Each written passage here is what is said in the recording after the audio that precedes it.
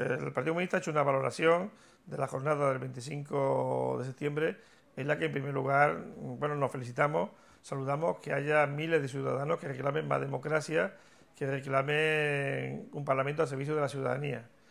En eso coincidimos y por eso vamos a seguir trabajando en ese camino. A partir de ahí hemos calificado como desproporcional la actuación de la policía, hemos calificado como hooligan de la política a los líderes del Partido Popular que llevan calentando el ambiente, comparando eh, la movilización con un golpe de Estado, con el 23 de febrero. Eso, eso es incendiar las calles, eso es provocar y al final hemos hecho responsable al gobierno de los incidentes que ocurrieron el día 25 de septiembre. Eh, creemos que este gobierno quiere criminalizar la lucha social, quiere criminalizar a los activistas sociales.